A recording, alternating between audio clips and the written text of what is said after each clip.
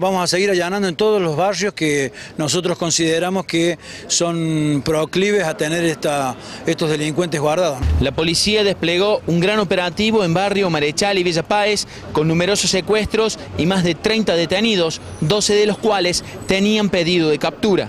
Hemos logrado también el secuestro de motocicletas, aproximadamente 50 motocicletas a sin, sin documentación y con diversas irregularidades. Tenemos vehículos que también están secuestrados, que también están con la gente de la, de la verificación, han podido constatar que también están adulterados.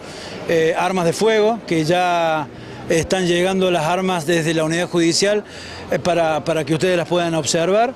Hemos secuestrado chalecos antibalas, diversos elementos electrodomésticos que han sido elementos eh, robados en algún momento y la particularidad de indumentaria, como ustedes pueden observar, que eh, confunden a la gente y es el ardid que por allí pueden utilizar estos sujetos para ingresar a un domicilio a robar y poder eh, eh, encañonar a la gente y asaltarla. El operativo fue destinado a mostrar efectividad policial en medio de un clima social que reclama acciones frente a la inseguridad.